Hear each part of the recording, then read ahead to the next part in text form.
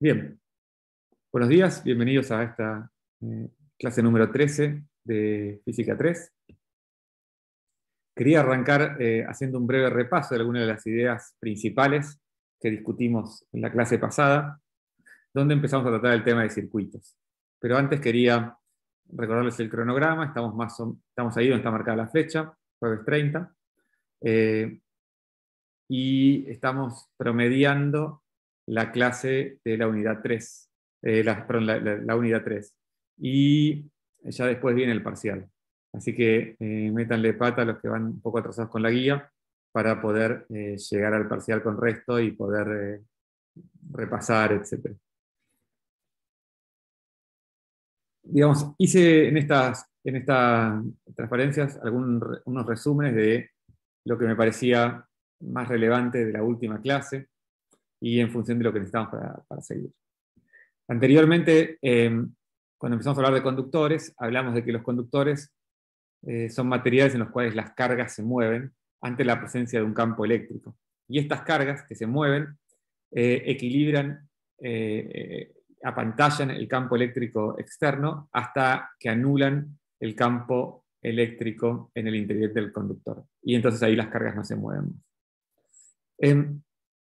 Como les decía antes, en la unidad 2 trabajamos con conductores, pero no nos preocupamos por el momento del movimiento de cargas. Pensábamos que había cargas antes, se prende un campo, las cargas se reorganizan y solamente después de que se reorganizan y quedan estáticas, eh, las observábamos. O sea, en la unidad 2, eh, los conductores en los cuales las cargas se podían mover, en realidad no nos preocupamos por el durante eh, ese movimiento, sino solamente por el final en el cual las cargas están fijas y entonces se reducía todo a un problema de electrostática, igual que en la unidad 1. En esta unidad de, corrientes continuas nos vamos a preocupar por las cargas en movimiento, pero con la salvedad de que las cargas se van a mover de manera estacionaria, es decir, la velocidad media de las cargas va a ser siempre la misma para todo tiempo. Esto no significa que cada carga individual se esté moviendo con un movimiento rectilíneo uniforme, esto no significa que todas las cargas se muevan a la misma velocidad. Esto no significa eh, eh, que, que, instante a instante la foto microscópica sea exactamente igual. Lo que significa es que mesoscópicamente, que es en la escala que siempre estamos trabajando, sea, en la escala de volúmenes grandes, y ahora también en la escala, digamos, de tiempos más o menos grandes, los valores medios de las magnitudes fundamentales no están cambiando. La velocidad media de las partículas cargadas es siempre la misma, la densidad de carga de cada elemento del cable es siempre la misma, etc. Entonces, en este esquema de este cable, en el cual tenemos un campo eléctrico E, que lo marqué hacia la derecha, y tenemos portadores de carga positivos y portadores de carga negativos, con sus respectivas velocidades. Tenemos una superficie marcada con S, que, como siempre, a la superficie le ponemos una normal para indicar eh, en qué dirección miramos que, lo cruza. Entonces, por ejemplo, las partículas positivas atraviesan la superficie S en la misma dirección de su normal. Em, y en cambio, las partículas cargadas negativamente, en este caso, la atraviesan en la dirección opuesta a su normal. Por supuesto que esta convención es totalmente arbitraria. Yo podría haber puesto la normal de S para el otro lado. Es una convención arbitraria.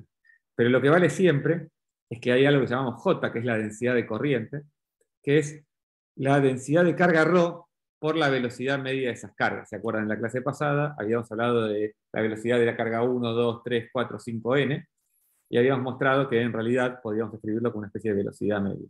Entonces J es un vector que me habla de la densidad de cargas por la velocidad media de esas cargas. Y habíamos mostrado también que si yo hago la integral en una superficie cerrada, y les recuerdo que esto es lo que el simbolito este del círculo alrededor de la integral eh, significa. Están viendo mi cursor, ¿no? También. Em, ese, ese circulito significa que es una superficie cerrada. Entonces, el flujo saliente de esa superficie cerrada está relacionado con la variación de la carga adentro del de, eh, volumen que esa superficie encierra. Y algo que se llama la intensidad de corriente, eh, o que vamos a llamar generalmente corriente, es el flujo de J eh, a través de una superficie, en este caso una superficie abierta. Uno podría también pensar el flujo de una superficie cerrada, pero yo acá voy a pensar en una superficie abierta. Entonces, la corriente es simplemente hacerle integrar de cuántas, cuál, eh, de la densidad de corriente J por la unidad de superficie. Entonces, fíjense que en el dibujo que tengo puesto acá arriba, como la cantidad de cargas positivas y negativas que se mueven es la misma, y las, cargas positivas se mueven hacia la derecha y las cargas negativas se mueven hacia la izquierda, con el mismo módulo de la velocidad, la corriente, eh, eh, en este caso, ¿sí? Eh, la, puedo pensar como que tengo una corriente positiva hacia la derecha y una corriente J que es también positiva por culpa de las cargas negativas. ¿Y por qué es esto? Porque les recuerdo que J es ρ por B. Entonces, como es ρ por B, un segundo, ahí está. Como J es ρ por B, fíjense, ρ tengo el signo de la carga y B tengo la dirección de, su velocidad. Entonces, si yo acá elijo un eje positivo hacia la derecha, las cargas rojas tienen ρ positivo y B positivo. Y las cargas eh, azules, negativas, tienen ρ negativo y B también negativo. O sea que en los dos casos el J es positivo. Por lo tanto, la integral de J por diferencial S en ambos casos es positiva, em, tanto para las cargas positivas como para las cargas negativas. Si yo quisiera que Em, la corriente sea nula, lo que tendría que pedir es que o bien las cargas positivas se muevan en la misma dirección que las cargas negativas, en el mismo sentido, o bien su velocidad sea nula para todas ellas, ¿no? Entonces ahí la corriente es nula. Entonces, bien. Pero dijimos la clase pasada que en un conductor, en realidad los núcleos están quietos eh, y eh, las cargas negativas son las que se mueven. Entonces acá yo les puse un esquemita de eh, un átomo de cobre, que es uno de los conductores más utilizados, es decir, que están todos los cables de sus casas, y lo que se ve es que el átomo de cobre tiene 29 eh, protones y 29 electrones. Entonces en el centro se ve un átomo de cobre con carga neutra. Entonces tiene los electrones distribuidos según em, eh, este llenado de capas que vieron en, la, en el CDC. ¿no? Tengo dos electrones eh, en la capa más interna, 8 en la que le sigue, 18 en la que le sigue, y 1 en la capa más externa.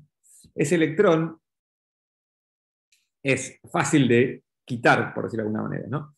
Entonces, eh, puede pasar a otro átomo fácilmente, por ejemplo, si, como se ve a la izquierda, em, como se ve a la izquierda, puedo tener un átomo de cobre cargado negativamente, que básicamente lo que hizo fue ganar un electrón em, que estuviera en el medio, poniendo dos electrones en eh, la última capa. Em, o bien, un átomo de cobre puede perder un electrón y entonces así estar cargado positivamente. Entonces, lo que va a pasar en general es que vamos a pensar las cargas positivas como átomos de cobre o de cualquier otro metal que perdieron un electrón. Y em, eh, las cargas negativas como átomos, em, eh, perdón, como electrones que se desprendieron de un átomo de cobre entonces se mueven con libertad. Entonces, si ahora hago eso, voy a poner eh, por simplicidad, entonces la velocidad de las cargas positivas igual a cero. Y lo que me pregunto es otra vez cuánto es la intensidad de corriente. Entonces, la intensidad de corriente siempre es la integral de J diferencial S por una superficie. Entonces, fíjense que acá eh, la normal a la superficie es muy importante. Si la normal a la superficie apunta para la derecha, entonces J, que apunta para la derecha también, por el diferencial de superficie, me da una integral positiva. Y la corriente es positiva, como se ve en este primer caso. En cambio, si hubiese elegido una normal hacia la izquierda, entonces J tiene una dirección distinta a la normal y la integral me va a dar negativa y la corriente va a ser negativa. Entonces, fíjense que el signo de la corriente va a depender de la convención que yo elija para tomar la superficie S, o más específicamente la normal a la superficie S. Pero no es difícil ver que siempre que yo elija que la normal a la superficie S tiene el mismo sentido que el campo eléctrico, como los electrones fluyen en la dirección opuesta al campo eléctrico, entonces la corriente va a ser positiva. ¿Sí? Y esto es lo mismo que ya había dicho en la clase pasada, de que la convención que tenemos de corriente es un poco antinatural, ahora que sabemos que son los electrones los que se mueven en un conductor. Para un conductor tendría más sentido pensar que los electrones tienen carga positiva y, eh, digamos, los protones tienen carga negativa, y de esa manera eh, las corrientes nos quedarían eh, en el mismo sentido en el que se mueven los electrones. Pero esto no es así ahora. las J nos queda en la dirección opuesta a la que se mueven los electrones y por lo tanto I también, si yo elijo una normal saliente en la dirección del campo eléctrico.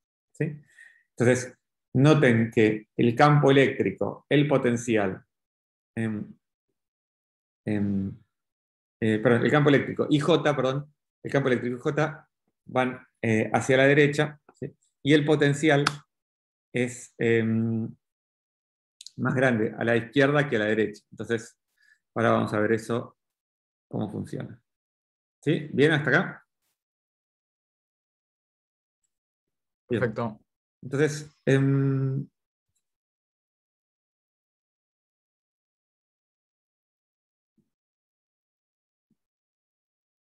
si yo ahora em,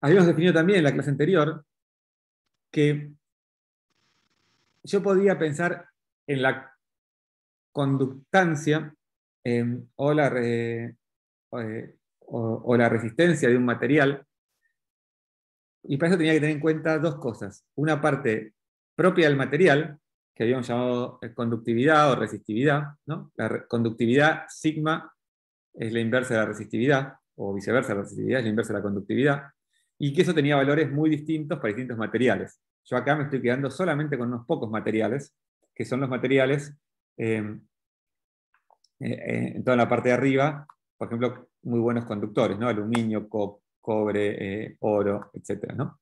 Pero habíamos visto en la clase anterior que la conductividad tiene como 30 órdenes de magnitud de diferencia entre un material muy conductor y un material muy aislante.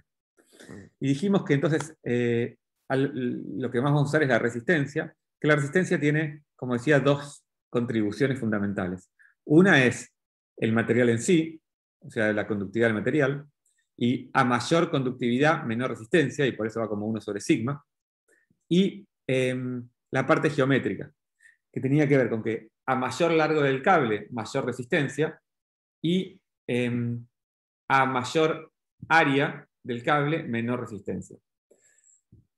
Lo del largo del cable es fácil. Cuando yo tengo un cable más largo, tengo más probabilidades de que, ocurran fricciones a nivel microscópico y entonces em, la resistencia es mayor.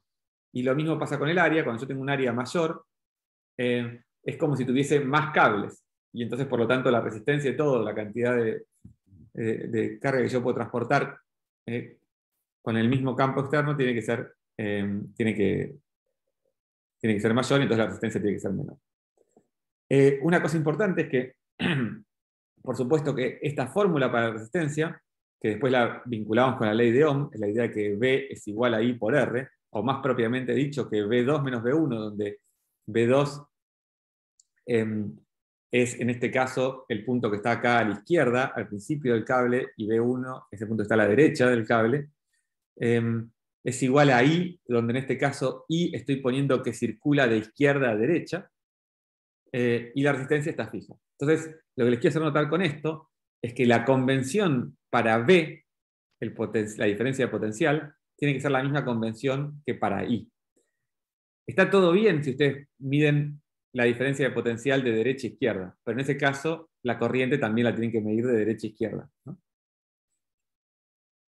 Eh, y la otra cosa que les quería decir es que este sigma, recuerden, que asume un modelo específico sobre, el movimiento de eh, los electrones. Habíamos dicho, ponemos un electrón en un campo eléctrico, sufre un movimiento uniformemente acelerado, esto no puede ser porque nos da una velocidad rápidamente más grande que la velocidad de la luz, entonces tiene que haber algún tipo de mecanismo de fricción. Pusimos una fricción viscosa y de ahí calculamos em, eh, cuál es una velocidad límite, digamos. Eh, pero bueno, obviamente, no en todos los materiales los electrones se mueven de, la misma manera, y eso significa que la ley de Ohm es una aproximación, una aproximación lineal a la relación entre tensión y resistencia. Y podría haber casos, y de hecho los hay, en los cuales esta aproximación se cae. Profe, ¿le puedo hacer una pregunta? Claro. Ahí usted en el gráfico está poniendo que eh, la flecha como que el campo se mueve de izquierda a derecha y a su vez el potencial también, pero ¿no hay un signo de diferencia entre el potencial y el campo? Eh, sí, a ver, yo lo, que estoy diciendo es que el potencial, eh, fíjate, si yo tengo un campo eléctrico, el campo eléctrico va de las cargas positivas a las cargas negativas, ¿te acordás de eso? Sí, sí, sí, sí, eso está perfecto. Y, y, como el potencial es Q sobre R, ¿okay? el potencial es mayor en el, es mayor cerca de, el, de, la carga positiva. O sea, a la izquierda el, el, potencial es mayor. ¿Ok? Ok. Entonces, B2 menos B1 va a ser positivo en este dibujo. ¿Está bien? Ok, por eso el potencial es como que se estaría moviendo para la izquierda. El potencial aumenta hacia la izquierda, eso es correcto. Está bien. El potencial es correcto, el potencial aumenta hacia la izquierda, eso es correcto. ¿Sí? Está bien, entonces, y en este caso se mueve en la misma dirección que el campo, no en la misma dirección que el potencial. Y se mueve en la misma dirección que el campo, claro. Y, siempre lo vamos a poner en la misma dirección que el campo, y lo vamos a poner en la, eh, en la dirección donde el potencial decrece, si querés. ¿Está bien? Está bien, perfecto. ¿Sí? Está bien, genial. Gracias. Entonces, fíjense acá cómo tengo el, lo que hice acá fue hacer un, diagrama eh, de, tengo un conductor, eh, otro conductor abajo, y tengo un dieléctrico. Como dije, el potencial es mayor donde el conductor está cargado positivamente, y es menor donde el conductor está cargado negativamente. Em, entonces, el potencial B2 es mayor que el potencial B1 hasta en, todo lo que vimos de, capacitores, nos preocupamos qué pasa por el campo y el potencial en esta parte que estoy marcando, adentro del dieléctrico. Pero ahora lo que vamos a hacer es, vamos a pensar que si yo conecto con estos tubos que simbolizan cables el circuito, en realidad lo que espero es que las cargas ¿no? van a empezar a fluir. Las cargas van a empezar a fluir en esta dirección. Es fácil darse cuenta, ¿no? Como, como, como, hay un conductor que conecta el, eh, el, conductor cargado negativamente con el conductor cargado positivamente, estas cargas se atraen. Ah, es cierto, también se atraen eh, a través del dieléctrico, pero a través del conductor que da toda la vuelta encuentran un camino de menor resistencia. Y por lo tanto, las cargas se van a mover y las cargas negativas que están en el conductor, o sea, el exceso de electrones que tengo en el conductor V1, que está marcado con, eh, con azul, van a llenar los huecos que tengo en el conductor marcado con rojo. Y entonces va a fluir una corriente de electrones, va, va, a fluir electrones en esa dirección. Noten que la corriente eléctrica I va en la otra dirección a la que fluyen los electrones como eh, les había dicho. ¿Está bien? Entonces, fíjense, el capacitor, que siempre nos preocupó como una herramienta para estudiar el campo eh, adentro del capacitor y las líneas de campo y el potencial adentro del capacitor, ahora lo estamos usando en este caso como un reservorio de carga negativa, a la cual yo le conecto un montón de cables y puedo hacer circular corriente de una pata del capacitor a la otra pata del capacitor. ¿Se entiende eso? ¿Sí?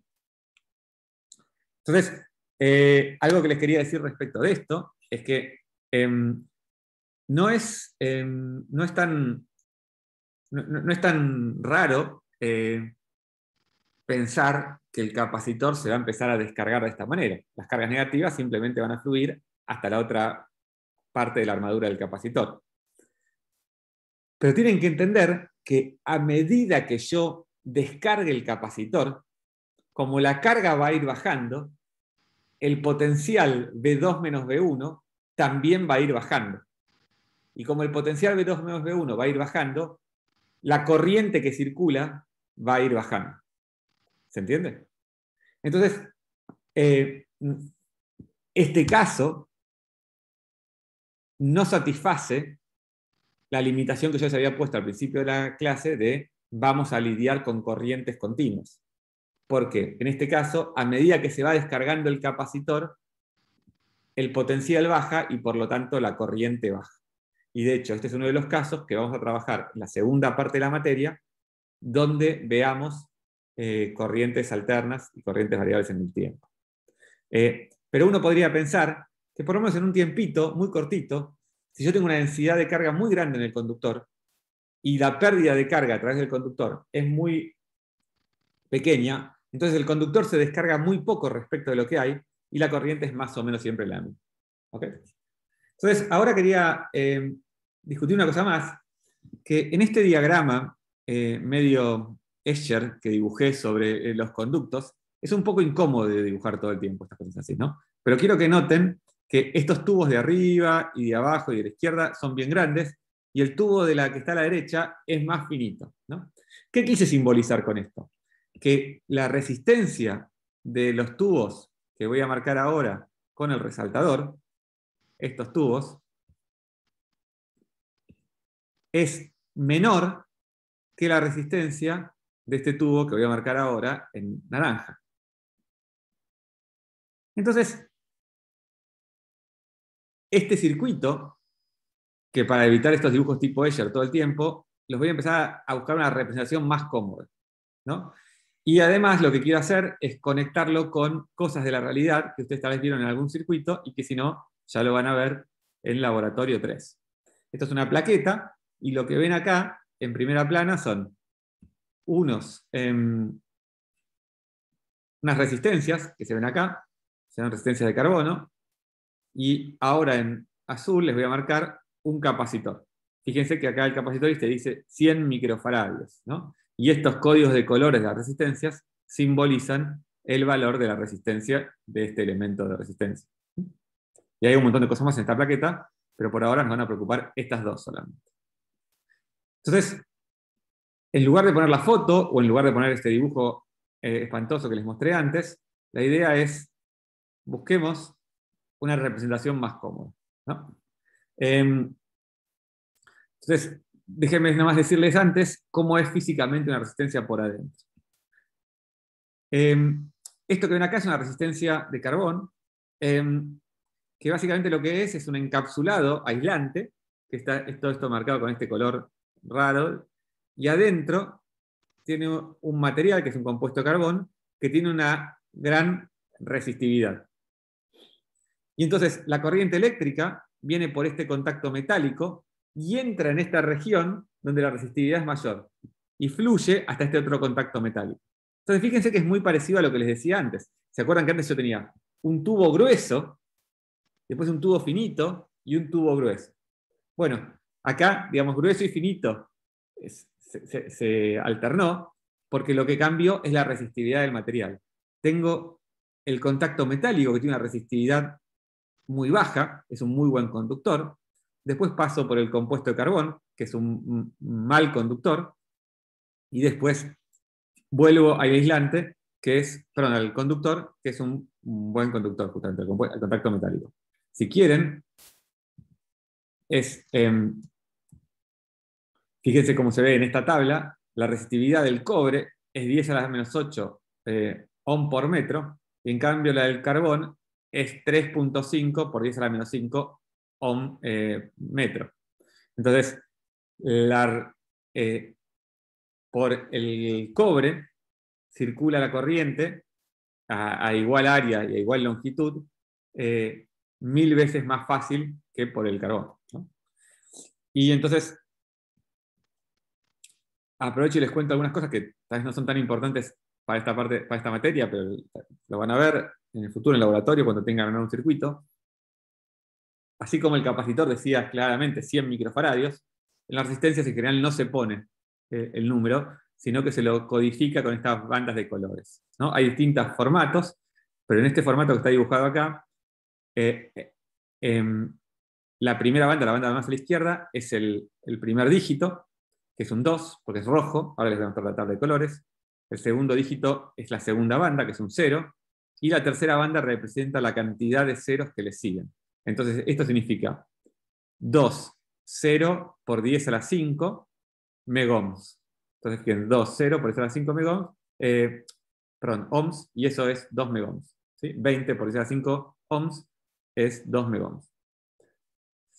La última banda, que, puede ser plateada, dorada y hay otras convenciones, indica la tolerancia. La tolerancia eso significa que cuando yo fabrico esto, tal vez no es 2 megohm, es 2 megohm más menos algo. Tengo un error de fabricación. Y entonces, en este caso, esta banda significa una tolerancia del 10%, o sea que es 2 megohm más menos 0,2 megohm. O sea, puede ser más grande o más chica. Y obviamente puedo comprar una resistencia con mayor o menor tolerancia eh, y obviamente cuanto menor sea la tolerancia de fabricación, más cara es. Y como les decía, poner el dibujo de Escher o poner la foto es bastante incómodo, o poner este esquema es bastante incómodo, entonces lo que vamos a hacer es utilizar cosas como las que estoy marcando ahora, que son representaciones esquemáticas de una resistencia. Entonces, eso es una resistencia de 2 megahms. ¿Estamos? Bien. Entonces, ah, acá está el código de colores, ya que estoy. Em, como les decía, hay distintos formatos. Eh, entonces, los colores en general significan lo mismo. Eh, negros es 0, eh, rojo es 2, violeta 7, etc. Y em, hay, hay y, después de la última banda es básicamente en general en este, este esquema de cuatro bandas eh, la tolerancia, que es por ejemplo 10% o 5%, etc. Pero hay esquemas también de, de, cinco bandas o esquemas de seis bandas más representativos. Em, de hecho, em, si me permiten un minuto. Em, bueno, Así como vimos la resistencia, también vamos a ver el capacitor. El capacitor es un. Se, fabrica, ya lo vimos en las clases anteriores, se puede fabricar con distintas geometrías. Geometrías cilíndricas, geometrías planas, geometrías em, esféricas. Pero el más común es este capacitor cilíndrico hecho enrollando capas, como se ve en esta figura de acá al costado.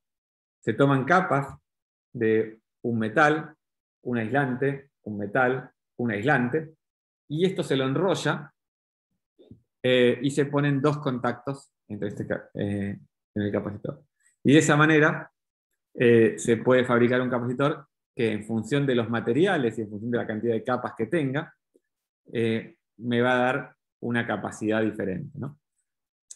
Recuerden que, el capacitor, la capacidad de un capacitor tenía que ver con el área del capacitor, la distancia entre las superficies y el material dieléctrico que tenía en el medio.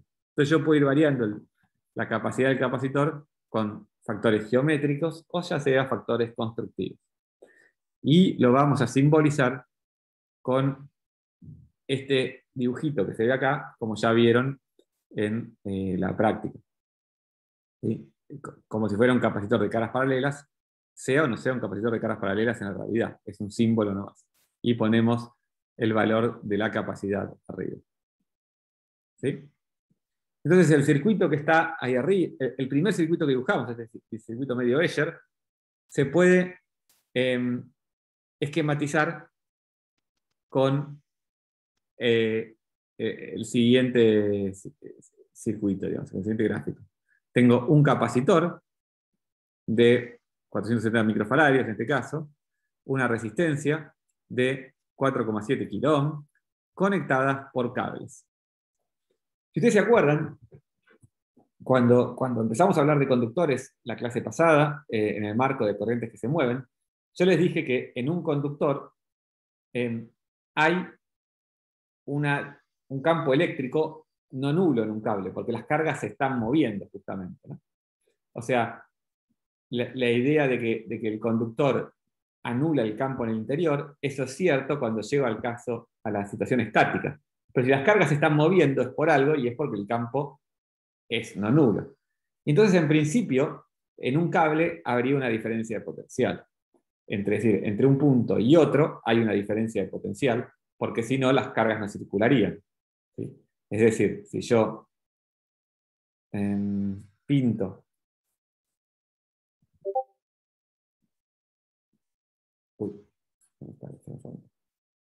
pinto un punto y pinto otro punto, ¿sí? acá y acá, esos dos puntos en la realidad no están al mismo potencial, porque si lo estuvieran, no circularía carga de un punto al otro. ¿Está bien? Em, entonces, lo que pasa es que em, lo que vamos a suponer cuando hagamos circuitos es lo siguiente. Las caídas de potencial que ocurren en los cables son eh, insignificantes, son mucho menores que las caídas de potencial que ocurren en otros elementos del sistema. Entonces, para todo lo que es práctico, lo que yo puedo pensar es que si tengo este circuito eh, que, que está en lo anterior, tengo una diferencia de potencial en el capacitor y tengo una diferencia de potencial entre las dos puntas de la resistencia, pero en toda esta parte del cable, que voy a marcar ahora con naranja, están al mismo potencial.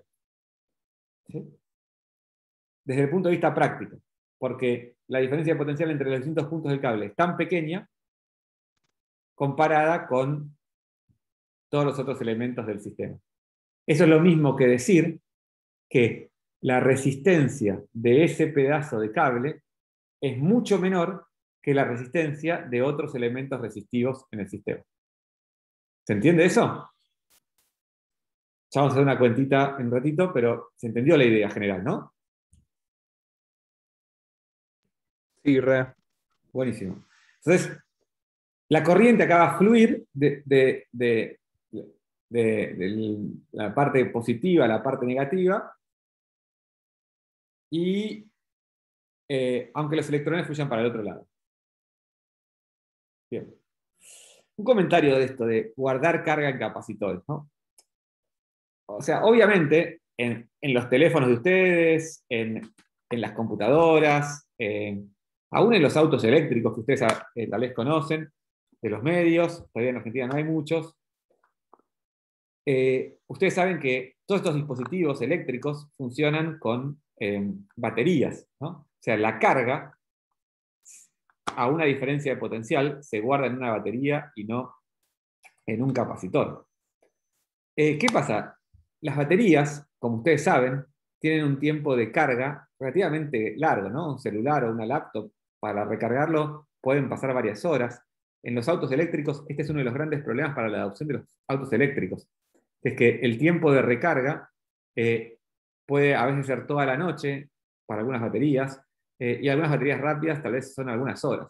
Entonces, el problema es cómo hacer un transporte o bien de larga distancia, en el cual yo no voy a parar ocho horas, si voy de acá eh, a Córdoba, eh, para recargar la batería, o bien cómo hacer un transporte de, de, de alto flujo, o sea, por ejemplo, como se ve acá en el caso, un colectivo que está circulando todo el día por la ciudad y que básicamente intercambia el conductor y le cargan nafta pero no puede parar 8 horas a recargar la batería en la mitad del día.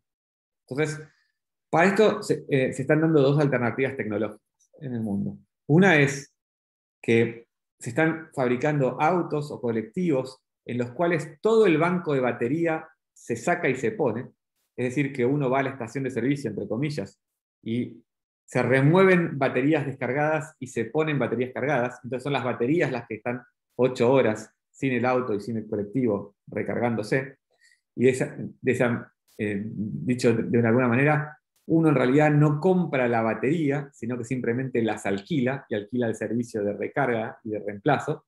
¿no? Y es como si uno fuera con un celular y entonces cada vez que se recarga la batería la cambia por otra, digamos, ¿no? Y, y, obviamente te toca una usada, recargada, no importa, pero eso es relativamente rápido porque se puede cargar la, estos sistemas, se pueden cambiar las baterías en 5 o 10 minutos, que es más o menos lo mismo que te lleva cargar el tanque.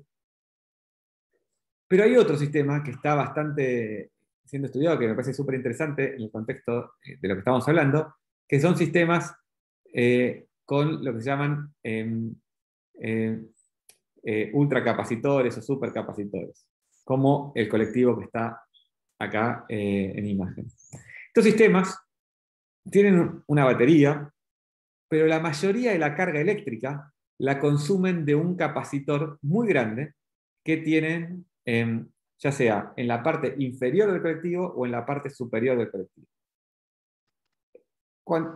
Una, característica del transporte eh, público de pasajeros urbano es que tiene frecuentes paradas. O sea, yo voy de una parada a la siguiente, que pueden estar espaciadas, no sé, cuatro cuadras, diez cuadras, etc. Y cada vez que paro, paro una cantidad de tiempo que no es muy grande, pero la integral de eso es bastante significativa. Entonces, estos colectivos lo que hacen es van a una parada, y no paran en cualquier lado, digamos. ¿Vieron cuando, cuando acá a veces pasa en Buenos Aires que te paran o lejos del cordón, o te paran antes o después, o en el siguiente calle? No, acá paran exactamente en un determinado lugar, y en ese lugar, inductivamente, parecido a como se cargan ahora algunos celulares, se cargan estos capacitores que, que pueden recibir muy rápidamente una cantidad de carga significativa. Lo suficiente para llegar hasta la siguiente parada donde se vuelven a cargar inductivamente y lo suficiente donde se vuelven a cargar y así sucesivamente. Es decir, cada vez que el colectivo para en una parada levantar o bajar pasajeros, con un mecanismo rápido de carga, polariza este capacitor, o sea, genera cargas positivas y negativas en ambos lados, que después se utilizan para hacer girar los motores eléctricos. Eh, y si no llega, por algún motivo, tiene la batería proveyendo la energía extra. Pero el default es que use las baterías eh, propias. Esto es eh, una diferencia respecto de eh, sistemas de transporte urbano híbridos, o sea, que funcionan con electricidad y combustibles fósiles, en los cuales ahí cuando la batería se descarga, el combustible fósil empieza a funcionar. Acá sería algo que uno lleva de la calle. ¿no? Por supuesto que hay que ser un tendido eléctrico especial en todas las calles, en todas las paradas, etc pero me pareció interesante para que vean que esto de almacenar carga en capacitores no es solamente algo que uno a escala muy chiquita o en, una materia teórica, sino que se está aplicando a gran escala. Eh, bien. Eh, pero obviamente la mayoría de las veces que utilizamos eh, energía eléctrica en un dispositivo móvil es con una, con una pila. Acá lo que se ve es justamente una demostración de la pila de Volta, Volta, Alexandro Volta era una, eh, una persona que, eh, digamos, en discusiones con, Galvani, estaba encontrando, buscando el origen de, la electricidad, de lo que se llama electricidad animal o electricidad. Era esta idea de que si yo tenía un electrón, eh, un, un, elemento metálico de zinc y de cobre y los ponía en, algún animal, podía haber corriente eléctrica. Lo mismo que pasa cuando yo hago como decía, con una papa o con un limón, o un montón de maneras de hacer circular la corriente eléctrica eh, con elementos más o menos simples.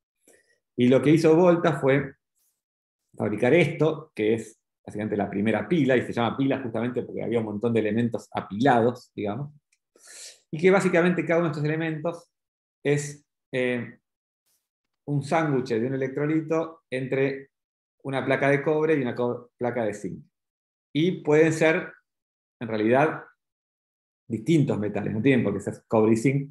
Eh, y, básicamente ahí ocurre un proceso en el cual el zinc se oxida, es decir, libera electrones, y después hay un proceso de reducción eh, en la cual dos moléculas de hidrógeno, digamos, ionizadas, sin, sin electrón, se unen estos dos electrones generando hidrógeno.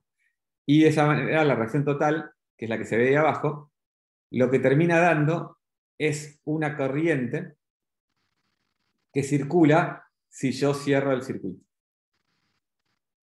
Entonces los electrones fluyen y, lo que hice básicamente es convertir a energía química que tenía almacenada en energía eléctrica. En el capacitor lo que convertí es energía eléctrica en energía eléctrica también. de alguna manera cargué ese capacitor, no sé cómo, no importa, pero tenía energía eléctrica, ¿se acuerdan? ¿no? Eh, Q por B. Eh, la carga por, el voltaje, y lo transformé en una corriente que circula en energía eléctrica también. Acá tengo energía química y de alguna manera lo transformé eh, con este proceso en energía eléctrica.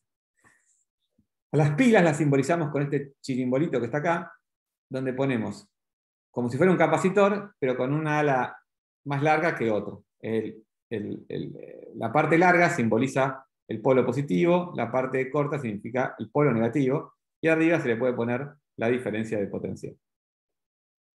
Entonces, en, este, en esta configuración de volta, la diferencia de potencial de un solo elemento es 0,76 volts. O sea, si yo me fijo, hago circular una corriente y fijo la diferencia de potencial, es 0,76 volts. Ahora, eh, para muchas cosas no alcanza, ¿no? O sea, una pila chica de un control remoto es de 1,5 volt, una batería es de 12 volt, ¿no? Entonces, para eso lo que yo puedo hacer es poner muchas de estas pilas en serie, es decir, una atrás de otra.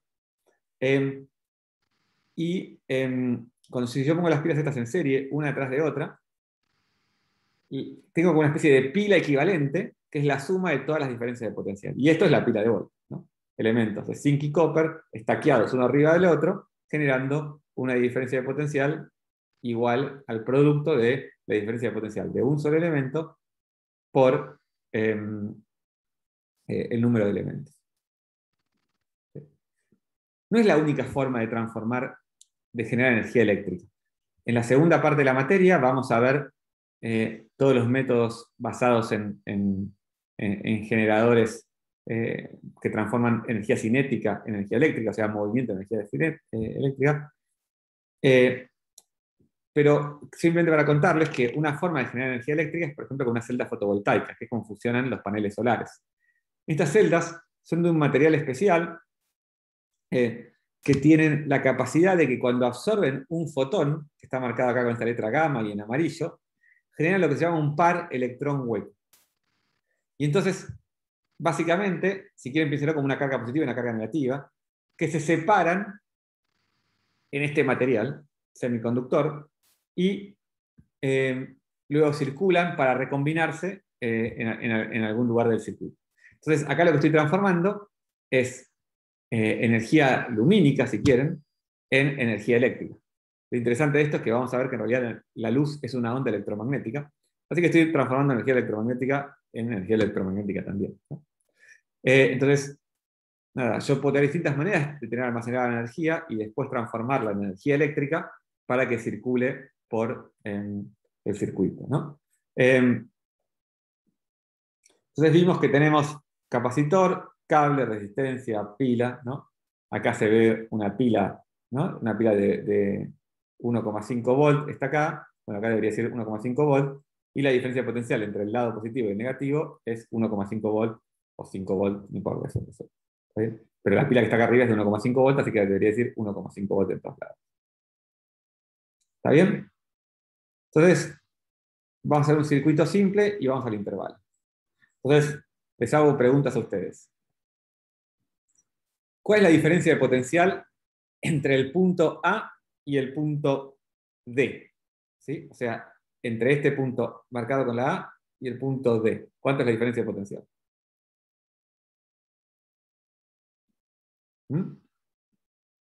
5 volts, ¿no? Claro, 5 volts, porque está la pila, ¿no? Si yo pongo un tester, me va a dar 5 volts, no hay otra cosa, 5 volts.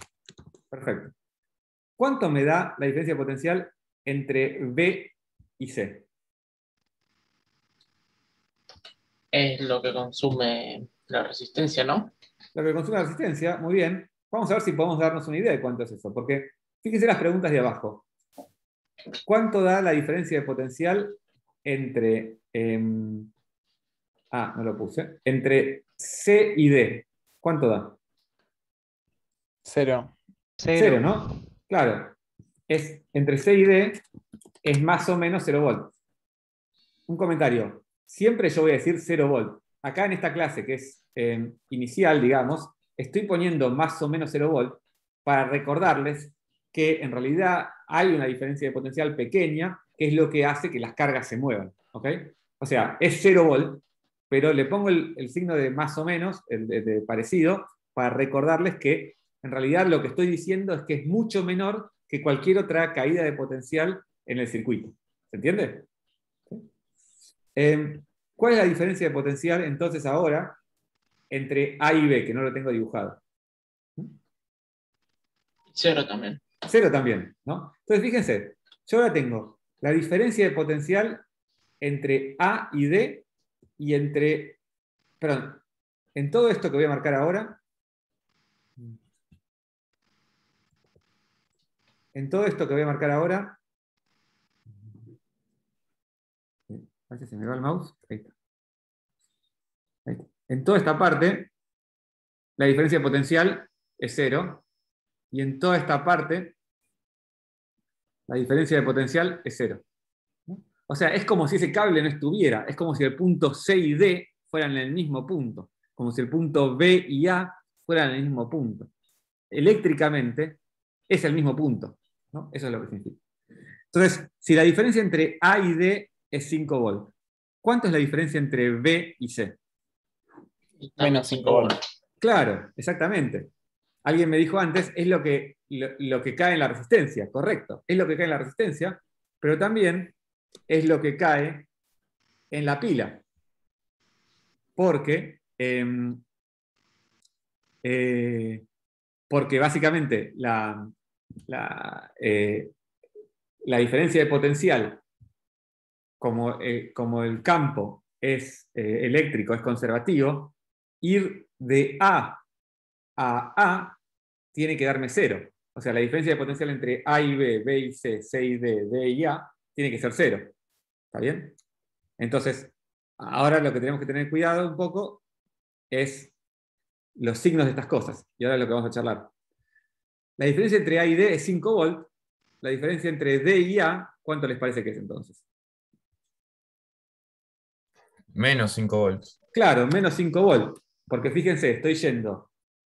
Estoy diciendo la diferencia de, de D a A, y yo les dije, la pata larga es un potencial mayor que la pata chica. Entonces, eh, acá estoy en la pata chica menos el lado de la pata larga, y eso es menos 5 volt. ¿Está bien? Profe, disculpe, Sí. ¿podría repetir por qué el potencial entre B y C también es 5? Eso no me quedó claro. Perfecto. Mira, lo voy, a, voy a escribirlo acá abajo. ¿Estamos de acuerdo en que eh, la diferencia de potencial entre de, de A a B más la diferencia de potencial de A a C más la diferencia de potencial de C a D más la diferencia de potencial de D a A tiene que ser cero. Veamos, veamos si, si podemos ponernos de acuerdo con eso.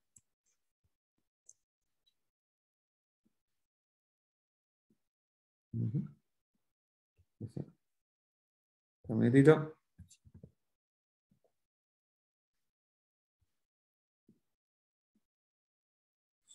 Lo ven todos esto, ¿no?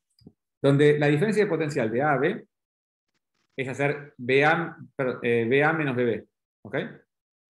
¿Por qué digo que esto tiene que ser cero? Porque no importa que yo me esté moviendo por adentro de un cable o me esté moviendo por el espacio vacío, estamos de acuerdo que el campo eléctrico es conservativo. ¿No? El campo electrostático, ¿no? El rotor de B ¿sí? es nulo, ¿no? Sí, sí. El vector de E, perdón, el, vector de, el campo, eh, eh, el vector de E es nulo. ¿sí?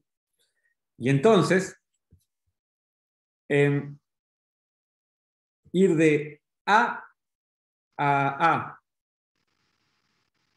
por adentro del circuito es básicamente mirar la diferencia de potencial que hay entre un punto A y el mismo punto A. Y eso tiene que ser cero.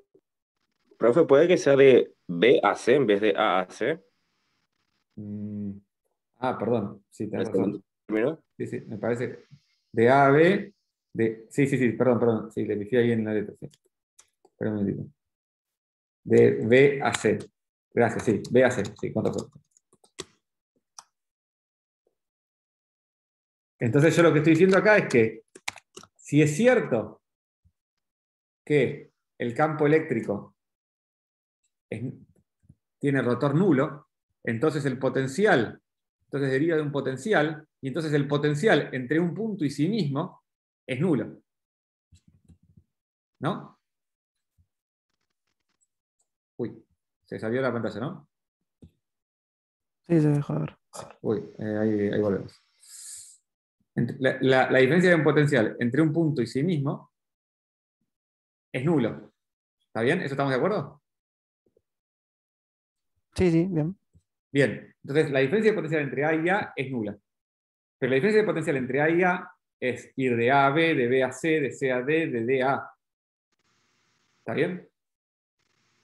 Y entonces, si eso es cierto, como la diferencia de potencial entre A y B es cero, y la diferencia de potencial entre D y C es cero, la diferencia de potencial de ir de D a A es la misma que tiene que ser de B a C.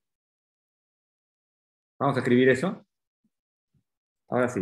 Entonces B a A es B a B más B BC más B CD más B DA tiene que ser cero.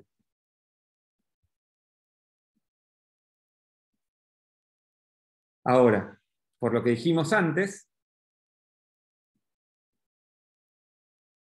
el término AB es nulo y el término CD es nulo. ¿Ok? Por lo tanto, BC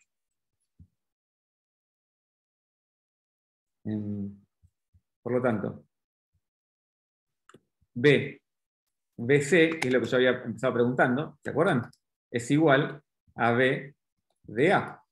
Pero habíamos dicho que esto es igual a menos B a D. ¿No? Porque mirá el potencial. Uy, puse dos menos, perdón. Eh. ¿El menos no iría en el término del medio? O sea, en el B. Eh. BDA, perdón, BDA, exactamente. Perdón, sí, listo, sí, gracias. ¿Sí? Exactamente. ¿Sí? ¿Está bien? Sí, ok. Entonces sería menos 5. Bueno, en realidad, si yo, te pregunto, la diferencia entre BA menos BD es 5, y la diferencia entre C y entre B y C es 5, no es menos 5, ¿no? Porque A y B son el mismo punto. Entonces, si yo, eh, de, te acuerdas que yo había dicho que BA, esto vale 5, ¿ok? Y Ahora, B, BC también vale 5. ¿Sí? Porque estoy mirando las mismas diferencias. ¿Sí? Si el punto A es igual al punto B, BA es igual a BB y BC es igual a BD. ¿Está bien? ¿Se entendió? ¿Sí? Sí, perfecto, gracias. Buenísimo. Entonces, veamos ahora em, las corrientes. Las corrientes eléctricas, lo que tengo que hacer para eso es em, simplemente pensar cuánta corriente circula por el sistema. Pero bueno, la más fácil es utilizar la resistencia usar la ley de Ohm. ¿Se acuerdan? Que según la ley de Ohm, B es igual a I por R. ¿no? Entonces, la, la- corriente BC, o sea, lo que va de B a C por la resistencia, por la resistencia, tiene que ser igual a el voltaje de BC.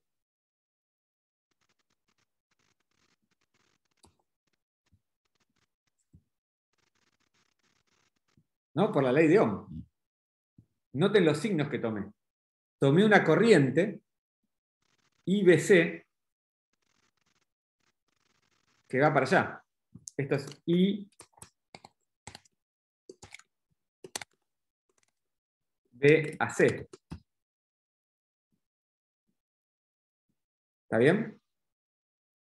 La corriente va para allá y em, la, eh, la diferencia de voltaje también la tomo de B menos C. Entonces, de esa manera, simplemente lo que puedo hacer es calcular la corriente em, y eh, BC como el cociente, el cociente entre BBC dividido la resistencia. O sea que es 5 volts dividido 4.7 kilo ohm.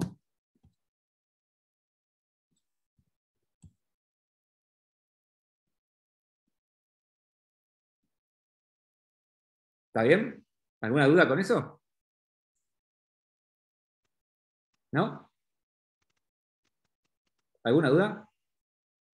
No, todo Todo bien. bien, todo bien. ¿Está bien? Muy bien. Bueno, y eso me dará, ponele, ponele que sean 5 volts, eso, un volt sobre un ohm es un ampere.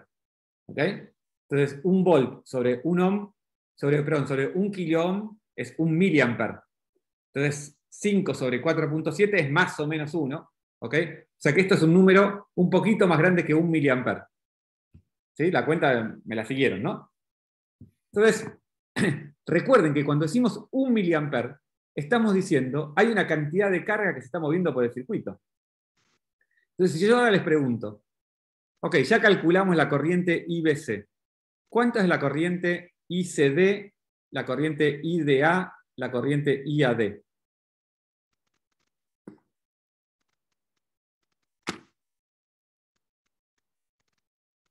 ¿Ideas? ¿No sería nula porque no hay resistencia en esa parte?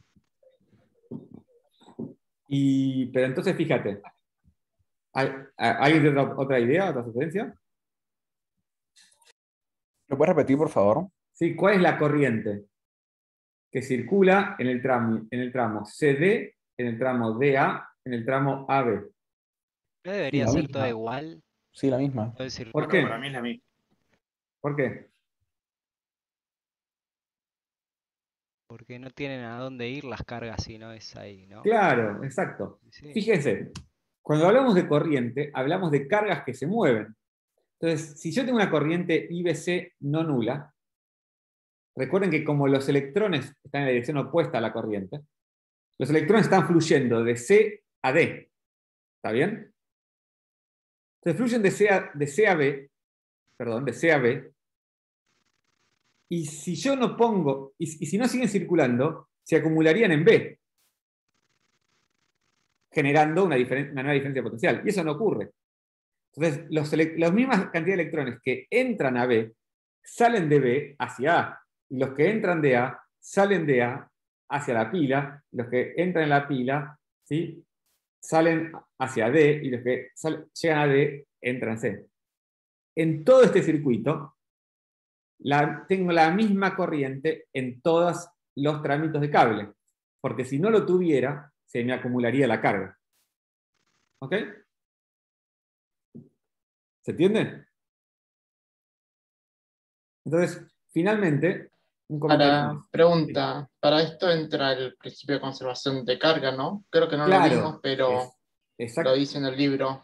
exacto pero, pero sí lo vimos, porque acordate que dijimos que la integral en una superficie cerrada de J es la derivada de Q respecto del tiempo. ¿No? Claro, sí, ahí es verdad. Entonces, lo vimos, pero no le habíamos puesto nombre, creo. Exacto, exacto, exacto. Bien, y un, un comentario más.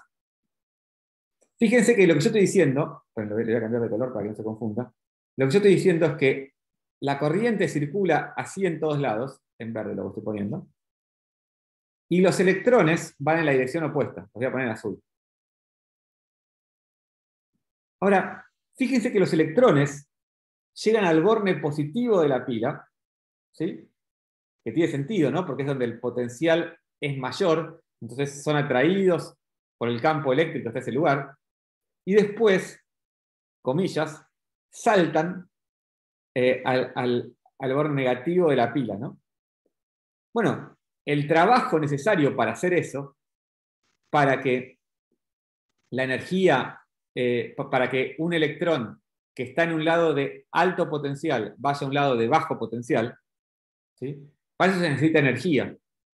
La energía esa en una pila es la energía química, ¿sí? o en una fotocelda es la energía lumínica, etc. Pero fíjense que si yo no repoblara el circuito así, otra vez podría depletar las cargas en un borne de la batería, como pasa con un capacitor. En un capacitor, el lado positivo se va depletando de cargas y las cargas que hacen toda la vuelta no pueden volver al lado positivo. En una pila sí pueden volver, perdón, al lado negativo. En, eh, eh, en- una pila, las cargas que hacen todo el circuito sí pueden volver a donde estaban antes, eh, porque hay ener- energía química que se transforma en energía eléctrica para elevarlas, para cambiarlas de potencial ¿sí? y aumentar la energía del sistema. ¿Está bien? Bien. Un último comentario, y nos vamos al intervalo, y es que, fíjense que en el gráfico anterior yo siempre hablé de diferencia de potencial, BA menos BB, BC. Pero es común en muchos circuitos que se elija un punto y se lo ponga un potencial de referencia, un potencial conocido. En particular, ya habíamos visto el concepto de tierra, que es un, eh, eh, un elemento que me provee tantas cargas como sea necesario y eh, por el cual yo puedo eh, entregar o recibir cargas y se define como potencial nulo. Entonces yo conectando la Tierra a un punto del circuito, ese punto me queda definido como potencial nulo, entonces ahí puedo definir acá, podría definir puntos em, que no sean BA, BD, BC, BD, sino puedo definir que este punto A está a potencial 5 volts, porque 5 volts es referente de tierra. ¿sí? Bueno, y nos vamos al intervalo con esto. Entonces vimos resistor, resistencias acá, capacitores, y en la segunda mitad de la materia vamos a ver inductores, eh, y transistores van a ver en el laboratorio 3, pero los transistores, como sabrán, son eh, el elemento esencial de todo dispositivo electrónico moderno, es lo que reemplaza la válvula y lo que nos permite hacer eh, eh, circuitos lógicos como los que hay en una computadora. Así que bueno, hacemos un intervalo de 15 minutos, eh, de 10 minutos, perdón, y seguimos. ¿sí? Una pregunta, Hernán. Sí. Al final la resistencia lo único que hace es modificar eh, la corriente y no el voltaje, o la diferencia de potencial, ¿Eh? ¿o no? La, no modifica la corriente, ¿no? Porque fíjate que la corriente que entra a la resistencia justo antes es la misma corriente que, eh, que pasa por la resistencia y que sale por la resistencia. Entonces, lo que hace la resistencia es generar una caída de potencial, ¿no? ¿Se entiende? Generar una caída de co- potencial. Es cierto que la corriente que circula por el circuito, dada una pila fija, va a estar determinada por la resistencia. ¿ok? Si yo tengo una pila de 5 volts y una resistencia de 1 ohm, va a circular una corriente. Si yo tengo una pila de 5 ohm y una resistencia de 1 kilo ohm, va a circular menos corriente. ¿Está bien? Eso es cierto. Pero no es que la resistencia, eh, que, que por la resistencia circula una corriente distinta que por el cable justo antes o justo después. Circula la misma corriente. ¿Está bien? Ok. ¿Sí? Bien. Profe, eh, ¿puedo hacer una Sí. consulta sobre lo que vimos Sí, recién? claro. Sí, claro. Eh, es sobre lo del que por qué no, por qué la, la- la corriente no es cero entre dos puntos. Sí. Es porque el- la resistencia de, ese cable también sería cero, ¿no? Y te quedaría un cero sobre cero. Bueno, claro, lo que pasa es que, de vuelta, estamos trabajando eh, eh, en una aproximación. Es correcto, la resistencia de un cable sería nula, ¿ok? Y por lo tanto, ahí la corriente sería infinita, ¿ok? ¿Sí? ¿Sí? Em, porque, no hay, porque no hay ninguna resistencia, ¿ok? Entonces, lo que en realidad, la forma correcta de resolver esto, es decir, todo elemento del sistema tiene una resistencia. Y como vamos a ver un ratito, si yo tengo un elemento con una resistencia muy pequeña al lado de un elemento con una resistencia muy grande, la caída de potencial en esa resistencia muy pequeña es despreciable respecto de la otra. ¿Ok? Sí, Ahora, eh, bancame dos minutitos y lo vemos, ¿sí? ok, igual no entendí el argumento de por qué la corriente no es cero, si, la- si el potencial era cero. Porque si la corriente fuera cero, entonces no llegaría nada de corriente em, a el, el punto B. ¿no? O sea, si la corriente entre A y B fuera cero, ¿cómo hace la corriente entre B y C para ser eh, no nula? ¿No?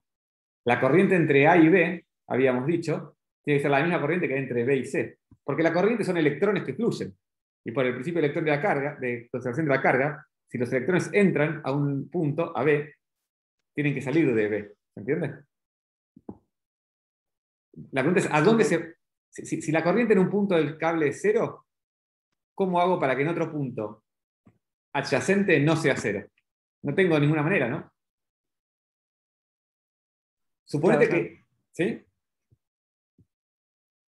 Igual ahora lo vamos a reforzar en un cachitito. ¿Vale? Sí, sí, joya. Bien, buenísimo. Bueno, hacemos un intervalo y. Ah, este es lo que queríamos antes y seguimos, ¿sí? Bien, 10 minutitos y seguimos.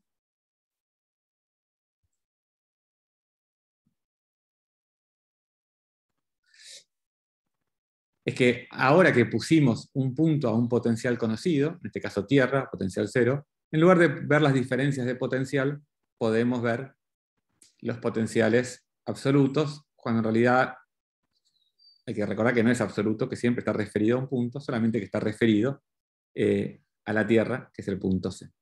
Entonces, es bastante fácil darse cuenta que acá BC significa básicamente BC menos BC, o sea, entonces ahí, porque es lo que está conectado a Tierra, eso vale 0, BD también vale 0, BA vale eh, 5 volts, eh, eh, y eh, BB también vale 5 volts. ¿no? Pero fíjense que las corrientes obviamente no cambian, porque para las corrientes lo que importa son las diferencias de potencial entre los puntos, y eso está bien, ¿no? O sea, poner un punto a tierra eh, es una elección arbitraria, porque es básicamente elegir dónde tengo el cero de potencial. Em, por lo pronto, menos dentro de las cuentas. Después vamos a ver que em, armar un circuito con las tierras bien elegidas es muy importante desde el punto de vista de la implementación, para el blindaje y un montón de otras cosas. Bien, lo que quería contarles ahora es que, digamos, hay algo que no nos estuvimos preocupando, que es lo siguiente. Yo les acabo de decir que la corriente circula, en este caso en sentido eh, antihorario, y los electrones entonces son promovidos desde A hasta D a través de la pila mediante la transformación de energía química en energía eléctrica.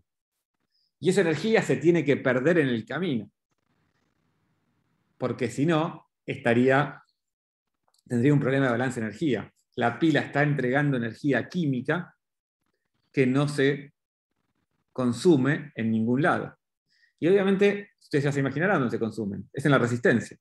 Porque como habíamos dicho cuando empezamos con este tema, poner una velocidad máxima eh, eh, al movimiento de los electrones en, la- en las- en los cables, elementos resistivos, implica pensar que tengo una disipación, ¿no? Algún tipo de disipación en, este, en este modelo que hicimos, eh, algún tipo de disipación, y esa disipación, obviamente, la habíamos pensado co- como un rozamiento proporcional a la velocidad y por lo tanto disipa energía. Y yo, de hecho, les los invito a que vayan a la ecuación em, que habíamos hecho para em, la ecuación diferencial que teníamos la fuerza eléctrica, el- la disipación viscosa y la aceleración, y ese término de disipación viscosa lo hagan análogo a cosas que vieron en mecánica elemental y calculen de ahí cuánta energía se disipa por rozamiento viscoso. Nosotros vamos a hacer la cuenta al revés. Vamos a agarrar y decir, bueno, si yo sé que tengo una corriente que circula por un circuito, la corriente que circula por ese circuito se tiene que consumir sí o sí en la resistencia, o en la resistencia de los cables si quieren, pero en la resistencia. Entonces, si recuerdan el trabajo, el laburo L es igual a la potencia por un, diferencial de tiempo. ¿no? Se lo puedo usar como derivada, yo acá lo pensé como un delta T finito. Entonces, ya vimos en clases pasadas que el trabajo que hace una batería es V por delta Q. ¿no? Es pensar cuánta carga yo llevo de un potencial a otro. Porque simplemente, ¿se acuerdan? Lle- Llevar una carga de un potencial V1 a V2 era simplemente hacer Q por V2 menos V1. Bueno, entonces acá, si yo tengo un potencial V determinado y muevo una cantidad de carga delta Q, el trabajo que hace la batería habíamos visto que es V por delta Q. Entonces la potencia que hace, eh, la potencia de esa batería es dividir el trabajo por, el por una unidad de tiempo, y eso es V0 por delta Q por delta T. Pero ustedes se acuerdan, delta Q sobre delta T es básicamente la corriente eléctrica. Entonces, esto me queda que la potencia de la batería es V0 por eh, I, eh, o sea, V0 por V0 sobre R, donde ahí usé la, ley de Ohm.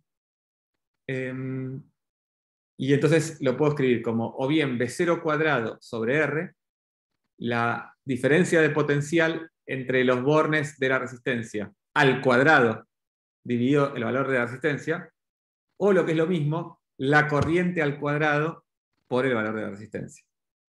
Fíjense dos cosas. Lo primero es que tanto en la expresión de, la de, de V0 cuadrado sobre R, como en la de I cuadrado sobre R, las cosas que son ambiguas en el signo, el potencial o la corriente, y cuando digo ambiguo quiero decir que depende de un sistema de referencia, un sistema de coordenadas, etc., van al cuadrado. Y eso tiene sentido, ¿no? Porque la potencia que disipa la resistencia siempre la tiene que disipar la resistencia. No puede ser que la absorba la resistencia. Entonces. Entonces, está eso siempre al cuadrado.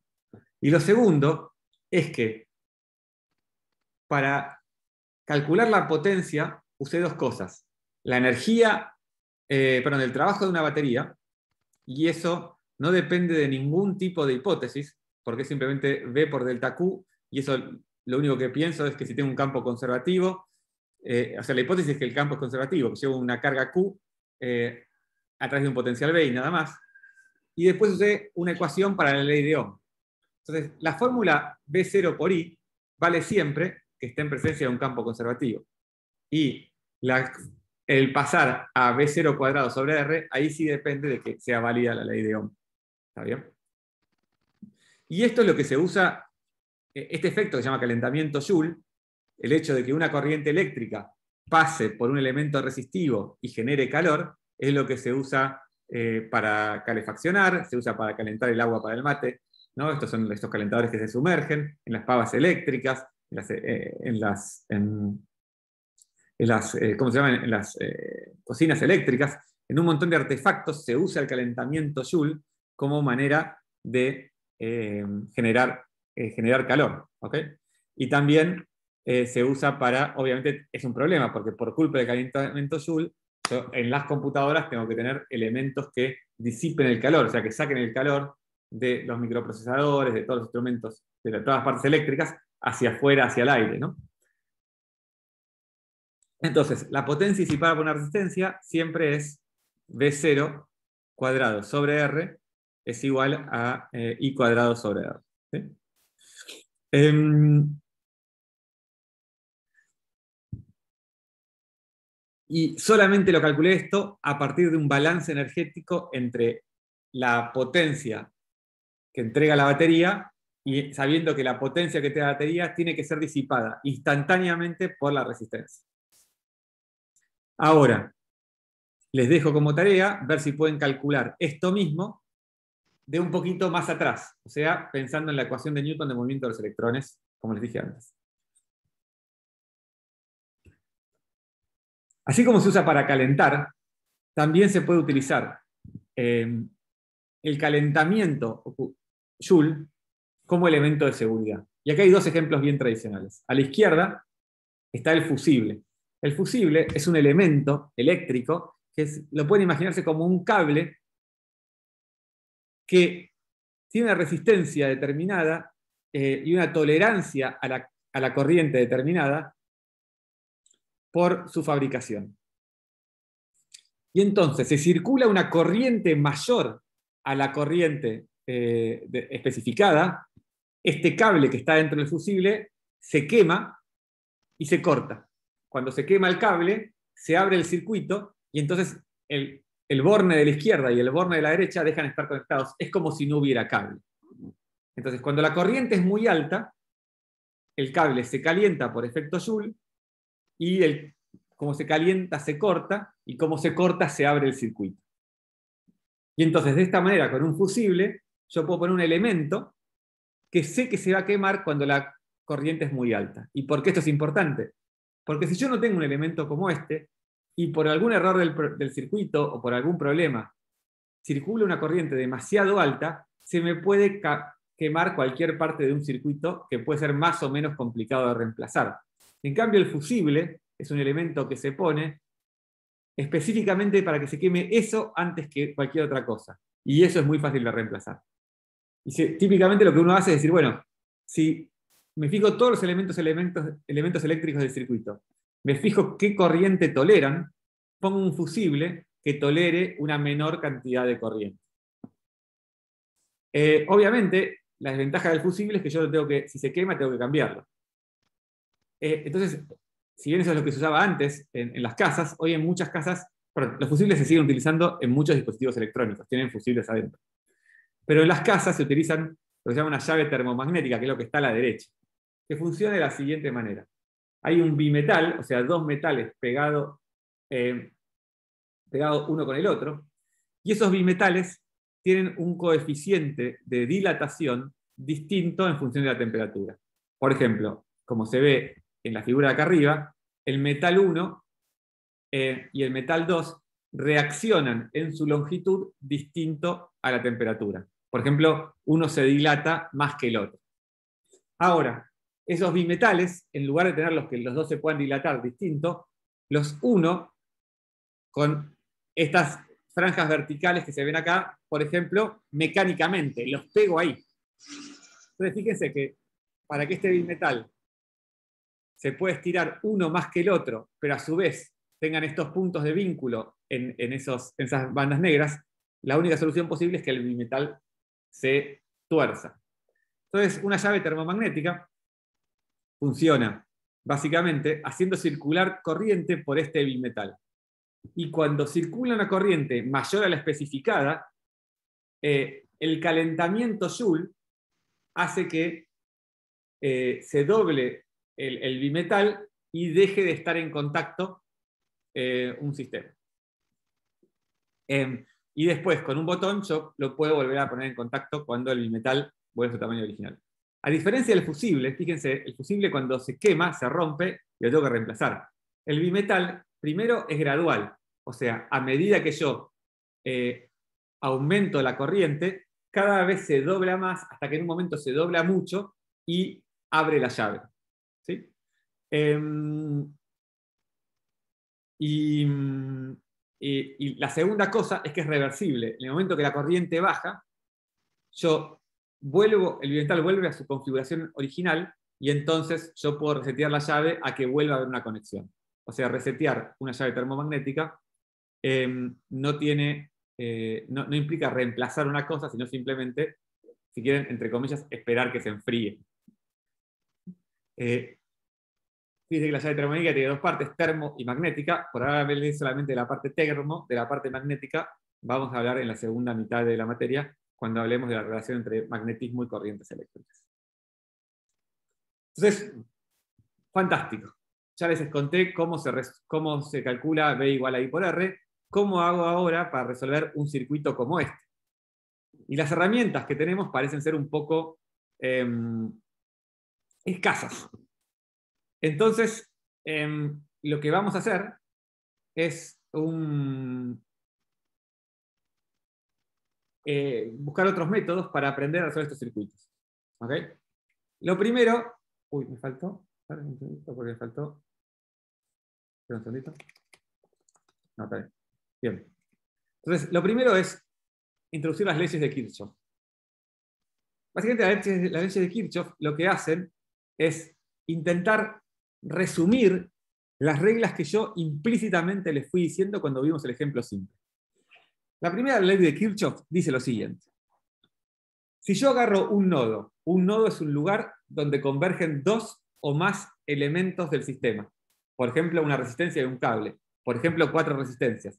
Por ejemplo, tres resistencias, una batería y un cable. Por ejemplo, una capacitor, una resistencia, una batería y un cable. No importa, la cantidad que sea. Y elijo en mi convención todas las corrientes salientes o todas entrantes, no importa, pero todas salientes o todas entrantes. Elijo las corrientes de esa manera. Si yo calculo esta ecuación que me da la conservación de la carga, fíjense que elijo una superficie eh, cerrada, que es esta, esta eh, esferita en azul, y muy fácilmente me puedo dar cuenta que como la corriente solamente circula por los cables, hacer la integral de la superficie cerrada de JDS es simplemente calcular la corriente que circula por este cable, por este cable, por este cable. ¿no? Porque la integral de J por diferencial de superficie que está acá es como si yo tuviese, ¿no? Voy a hacer un, un dibujo muy simplón. Tengo un cable que está acá y mi superficie celeste atraviesa esto. Entonces, J es no nulo adentro del cable y nulo afuera del cable. Entonces, la integral de J diferencial S simplemente es hacer la integral de J por este diferencial S que está en, que es el mismo cable. Pero la integral de J por S es la definición de corriente eléctrica. Entonces, la integral de J1 por DS1 es I1, la corriente que circula por el cable 1. Y lo mismo con el 2, con el 3, con el 4. Entonces, fíjense que lo que tengo a la derecha de esta integral es que la integral de J diferencial S es la derivada de la carga en función del tiempo. Pero en ese nodo, y ya esto lo hablamos, no se puede crear ni se puede consumir carga. La carga eléctrica se conserva. Entonces, todas las cargas que entran tienen que salir. Y por lo tanto, la integral de J diferencial S en una superficie cerrada tiene que ser nula. Y entonces, I1, I2, I3 más I4, que es la suma de todas las corrientes que salen de ese nodo, tienen que ser nulas. ¿Sí? Las, porque si no fueran nulas, se estaría acumulando carga o creando, car- eh, creando carga o destruyendo carga en ese nodo. ¿Me siguen con eso? ¿Alguna duda? ¿No? Todo perfecto, profe. Buenísimo. Entonces, la primera ley de Kirchhoff, que es la de los nodos, la podemos pensar como que en cada nodo la sumatoria de todas las corrientes es nula. ¿Sí? Porque la carga se conserva y no se acumula en los nodos. Importante para esto, en la ley de Kirchhoff, o bien usar todas las corrientes entrantes, o bien usar todas las corrientes salientes. No importa, pero no mezclar. Si mezclan, lo, lo único que les va a pasar, por ejemplo, si yo hubiese elegido I1 en la dirección opuesta, por ejemplo, hubiese elegido, no sé, un eh, I1' prima para allá,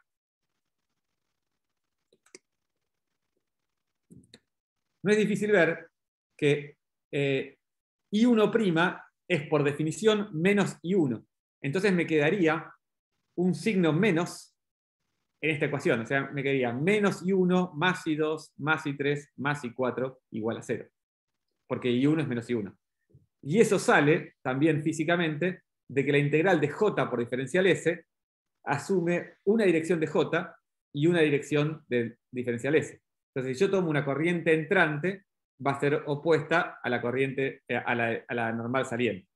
Entonces, mientras, pero mientras usen o todas las corrientes entrantes o todas las corrientes salientes, va a ser simplemente un signo global que no importa.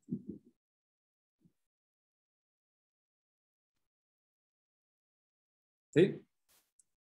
Bien. Segunda ley de Kirchhoff, que también la tratamos. Si el rotor del campo eléctrico es cero, entonces deriva, de un potencial. Y entonces, agarrar una malla, y una malla es cualquier, cualquier circuito cerrado dentro de mi circuito.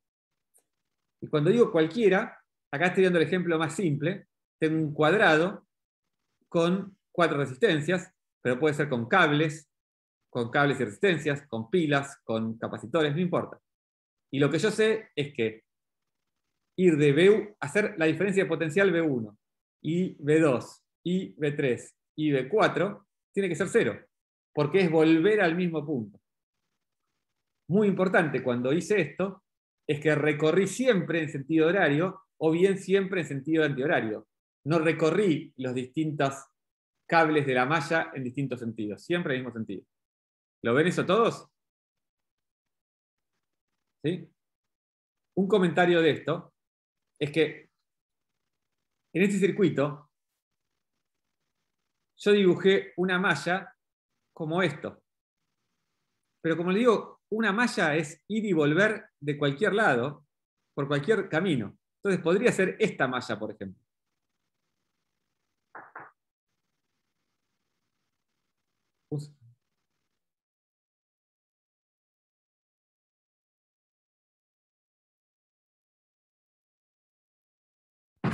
Em, esta malla.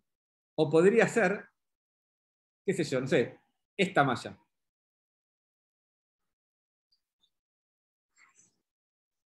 O podría ser una malla que sea toda. Tengo un montón de mallas en mi sistema y puedo elegir cualquiera, porque para cualquiera vale que eh, la suma sobre todas las caídas de potencial es nula. Entonces, lo que dice la ley de Kirchhoff de las mallas es que en cada malla, todas las caídas de potencial eh, suman cero, siempre y cuando recorra las caídas de potencial, o bien siempre en sentido horario, o bien siempre en sentido antihorario, no importa, pero siempre las mismas. Y esta es una consecuencia de que el campo es conservativo. ¿Está bien? ¿Alguna duda de esto? ¿No? Bueno, entonces ahora podemos también aprovechar esto para reducir algunos circuitos de manera simple. Lo primero no me voy a meter en detalle porque ya lo vieron en la práctica, que es cómo pensar un capacitor en serie o un capacitor en paralelo. Un capacitor en, capacitores en paralelo son capacitores que comparten, digamos, eh, que, que, que, que tengo un cable que se bifurca en dos, van a dos capacitores y después se juntan otra vez. Y ahí la capacidad equivalente es simplemente la suma de las capacidades. Una manera muy fácil de pensar esto es que si yo estos capacitores los pongo uno al lado del otro, es como si tuviese un capacitor con el doble de área. Y vimos que la capacidad de un capacitor es proporcional al área. Entonces, si tengo un capacitor con el doble de área, eh, tengo un capacitor con el doble de capacidad. Entonces, la capacidad equivalente es C1 más C2 equivalente. Y lo que es importante es que tanto en el capacitor 1 como en el capacitor 2, la diferencia de potencial es la misma. En cambio, en los capacitores en serie es distinto, porque ahora la condición de vínculo es que en toda esta zona que yo estoy marcando en verde, la suma de toda la carga tiene que ser nula. ¿Sí? Porque ese pedazo de cable, antes de que yo lo cargara, no, tenía carga nula. Y como es un capacitor y la carga no puede fluir a través de este capacitor, y en esto este tramito que es marcado con, con esa forma eh, de H acostada, la carga se conserva, la carga que se fue para arriba se tiene que compensar con la carga que se fue para abajo. Entonces yo lo que sé en el capacitor en serie es que los dos capacitores tienen la misma carga. Y si tienen la misma carga, entonces no tienen la misma diferencia de potencial. Con eso, como vieron en la práctica, la capacidad equivalente es 1 sobre la capacidad equivalente es igual a la suma de las inversas de las capacidades. Bien. Igual eso, si quieren revisarlo, eh, después me preguntan, o si no, está en el roedor. Para las resistencias, se da lo opuesto. Que en realidad lo opuesto es más parecido a lo que ustedes vieron con resortes. Con resortes valen estas mismas ecuaciones que yo estoy poniendo ahora. Dos resistencias en serie, eh, su, su res- su resistencia total se suma. Y en paralelo se suman las inversas. Una manera de pensar esto bastante fácil es justamente con lo que acabo de decir antes. Fíjense, las resistencias en serie, la corriente que circula por la primera resistencia tiene que ser igual a la que circula por la segunda resistencia. Porque en este nodo que voy a marcar ahora, no se puede acumular carga. ¿No? Eso ya lo habíamos dicho. Entonces la resistencia es la misma, y como B es igual a I por R, pero la corriente es la misma, como B es igual a I por R, B, B es igual, B1 es igual a I1 por R1 y B2 es igual a I2 por R2. Pero I1 es igual a I2 y es igual a I equivalente, si quieren. Y por lo tanto, y, por lo tanto, disculpen. mm. Y por lo tanto, si yo ahora agarro y digo em, B1 es igual a R1 por, perdón, a I equivalente por R1 y B2 es igual a I equivalente por R2, entonces, em, lo que pasa es que puedo pensar directamente que el B total, el B total, que es BU, B equivalente, es igual a B1 más B2, simplemente porque la caída de potencial entre las dos, es igual a I equivalente por R1 más I equivalente por R2. Y por lo tanto, sacando factor común y equivalente, esto es I equivalente por R1 más R2. Por lo tanto, R equivalente es igual a R1 más R2. Y pueden hacer lo mismo ustedes, háganlo en casa para el paralelo. Lo que cambia en paralelo es que ahora B1 y B2 son iguales y son iguales a B equivalente. Y entonces lo que cambia es I1 y 2. ¿Está bien?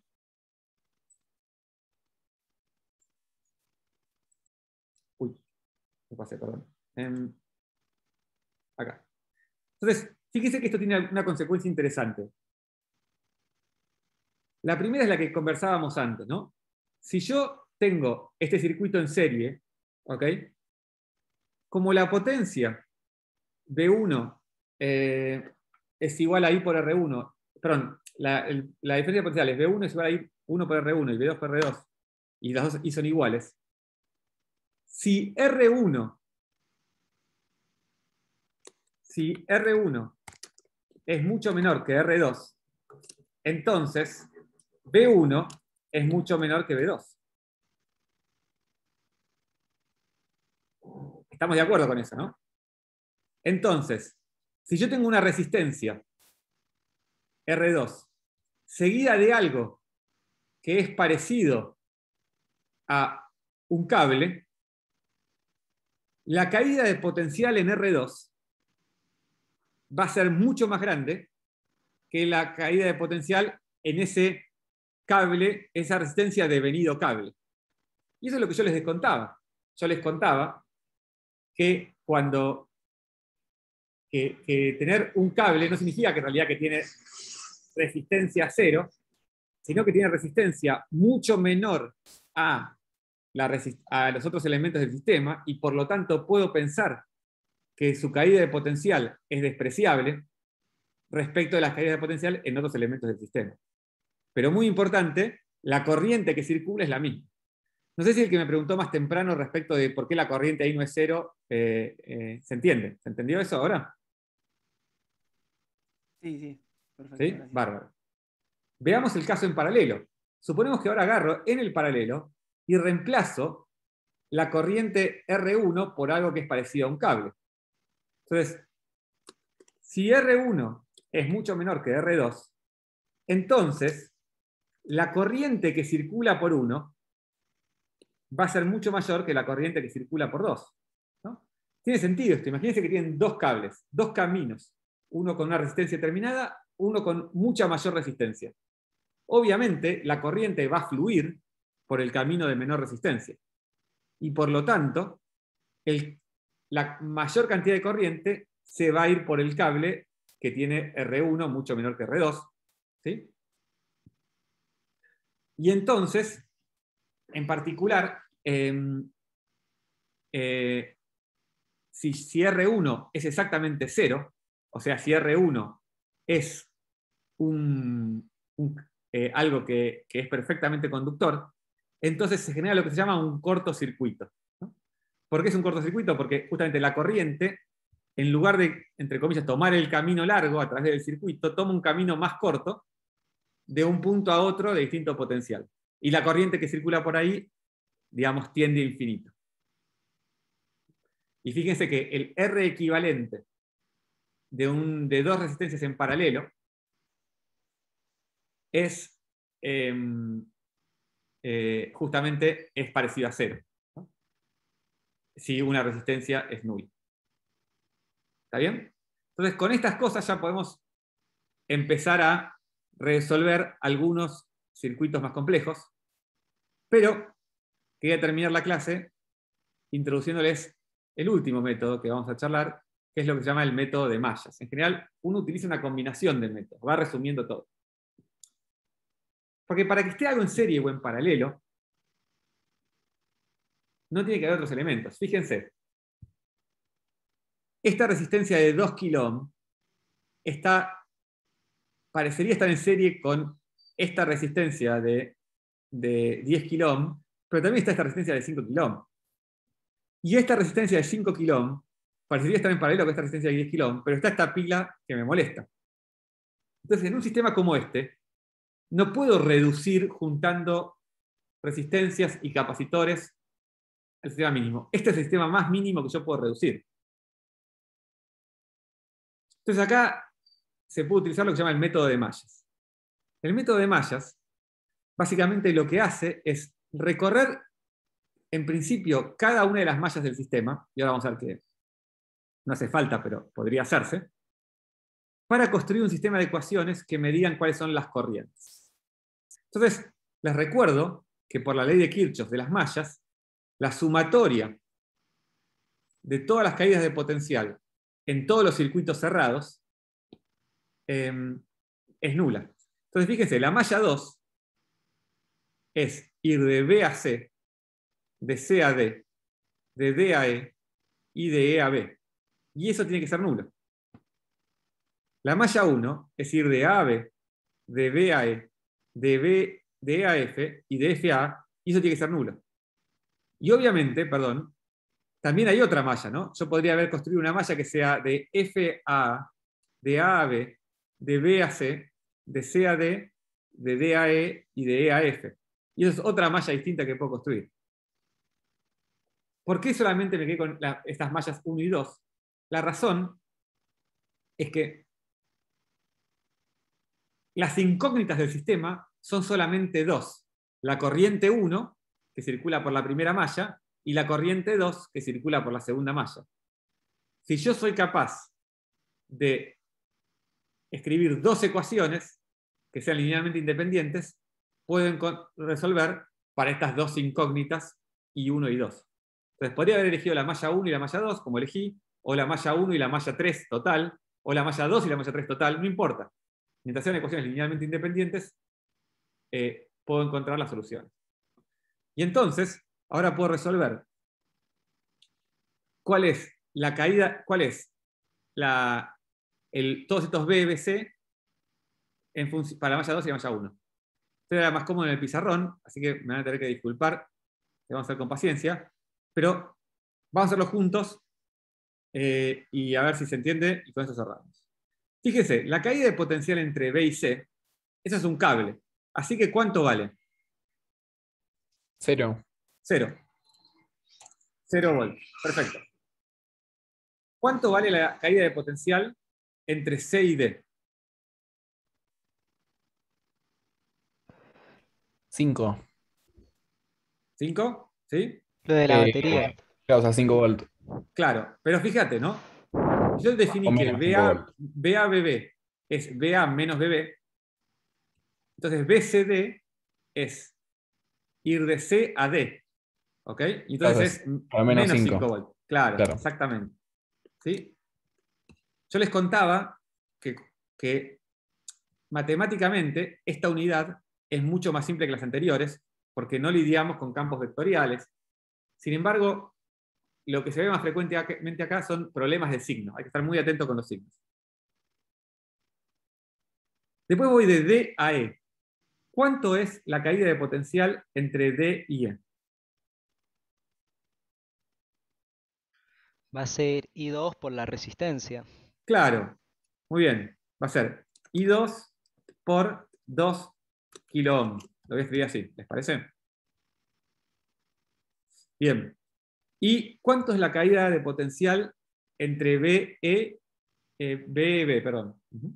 Perdón, un comentario. ¿Por qué puse I2 por 2 kilo ohm y no, em, y no mm, menos I2 por 2 kilo ohm? Porque el signo lo da el signo de la corriente. Eh, entonces, como está, estamos corriendo en el mismo sentido de la corriente, tiene el mismo signo. Bien, perfecto. ¿Y ahora cuánto vale E BEB? Eh, y 2 por 10 kilo ohm, Bueno, de- en, esta, en esta malla. bueno, ahí está el problema, ¿no? Que en realidad, ese es el primer impulso, es poner I2 por 2 kilo ohm, ¿ok? Pero en realidad, la corriente que circula por la resistencia de 2 kilo perdón, de 10 kilo no es I2 solamente. Entonces, si bien yo estoy mirando la malla, para ver la caída de potencial necesito tener la corriente total que circula por ahí. ¿Ok? Entonces, ¿cuánto es la corriente que circula por la resistencia de 10 kilo? Sería I2 menos I1, ¿no? Claro. ¿Por qué I2 menos I1 y no I2 más I1? Por cómo circula, están como en sentido contrario. Exacto. Exacto. ¿Sí? Entonces están, están en, sen- en sentido eh, contrario. Entonces, em, yo, si yo, como, como el sentido es arbitrario, yo podría haber puesto I1 mirando para el otro lado y no hay problema. ¿Está bien? ¿Sí? Bien. Perfecto. Em,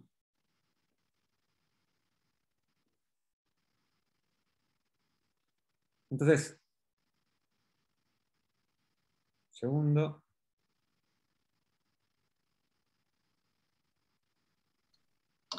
Acá, Sí, porque es sencillo, ¿no? Pero si estuviéramos en un caso más complejo, tendríamos que entrar en lo que es los nodos, ver cómo es la entrante y la saliente y para verificarlo, ¿no? Lo que pasa es que en realidad, fíjate que como, como cada elemento resistivo siempre va a ser el borde, la arista entre dos mallas, siempre vas a tener o bien I2 menos I1 o I1 menos I2, no importa. Una vez que vos elegís el sentido de circulación, ya te queda de- determinado. ¿no? Sí, sí, no, di- digo en este caso, porque en este caso so- tenemos solamente, pero si por ejemplo tuviéramos más mallas alrededor, podría haberse afectado el... Claro, Por eso en este, en este caso digo, que es sencillo, lo podemos decir así a ojo, pero en casos más complicados deberíamos entrar con la ley de los nodos. No, porque fíjate, si vos tuvieses una malla acá arriba, eh, déjame- espera, escribo esto así que lo tengo abierto. Eh, y 2 menos I1. ¿Todos están de acuerdo con eso? Y 2 menos I1. Fíjate, si tuviésemos una malla más, por ejemplo, ponele que tuviésemos una malla acá arriba. ¿Ok? No importa cómo es.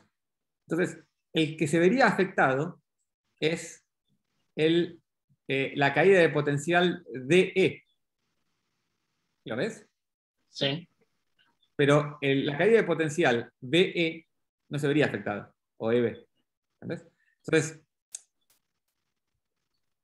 en cada, en cada malla, lo único que me importa son las corrientes que tienen linderas.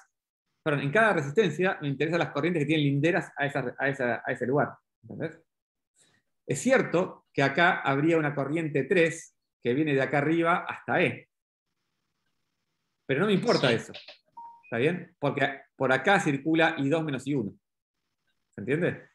Lo que sí es cierto es lo que decís vos, es que si yo después, cuando termino de resolver el problema, tendría que encontrar que I2 menos I1 eh, más, ponele, lo que entra a E desde arriba, tiene que ser neutro. ¿Está bien? Eso sí es cierto. ¿sí? Pero no es, no es necesario que lo plantee, es lo que quiero decir. bueno, listo. ¿sí? Se puede plantear, pero no es necesario, eh, aunque sea más, más, más complicado el sistema. Bien, entonces, bien, perfecto. Y ahora vamos a la de abajo rapidito porque, fíjese, ahora vamos de A a B. ¿Está bien? Fíjese que ahora sí, de A a B son 15 volts. Y vamos ahora de B a E. Y fíjense que ahora es lo opuesto, ¿no? Porque tenemos em, la corriente 1 va como estoy circulando y la corriente 2 va en sentido opuesto, ¿no? Entonces esto es I1 menos I2 por 10 kilómetros. ¿Ok? Bien, BEF me da 0 volt y BFA me da I1 por 5 kilómetros. ¿Está bien? Creo que más o menos se entendió ahí, ¿no? Bárbaro. Entonces, Eh, fíjense que entonces me quedaron dos ecuaciones igualadas a cero, ¿ok? Con dos incógnitas, y 1 y 2. No es difícil darse cuenta que lo que pueden hacer acá es mover todas las fuentes a la derecha de la igualdad y les va a quedar un sistema lineal de un una matriz por I1 y 2 es igual a algo que tiene que ver con los voltajes. ¿Se ve eso? Profe, una Sí. duda. ¿Y acá qué nos cambia que esté conectado a tierra en el nodo P? Nada. Porque en ningún momento usamos que estaba conectado a tierra. Nada, nada, no nos cambia nada. Justamente, eso te cambia el, el voltaje, el, el valor absoluto, ¿no? Después, por ejemplo, si yo después te preguntara cuál es, la, pot- cuál es, el, cuál es el potencial respecto de tierra E, ahí vos pondrías es BEB, ¿ok? Eh, pero, pero nada, ¿sí? Ok, perfecto, gracias. Bueno, entonces yo lo que, lo que quería decir ahora es que, entonces fíjense que estas ecuaciones, las igual a cero, eh, se los dejo como tarea para el hogar, pero básicamente lo- creo que se ve claramente, tenemos una incógnita, una incógnita que, que aparece en las dos ecuaciones y otra incógnita que aparece en las dos ecuaciones. Entonces, si yo escribo esas ecuaciones de corrido, me quedan I2 eh, por 2 eh, kilo ohm más I2 menos I1 por 10 kilo ohm es igual a 5 volts. Y abajo me queda em, I1 menos I2 por 10 kilo ohm más I1 por 5 kilo ohm es igual a menos 15 volts.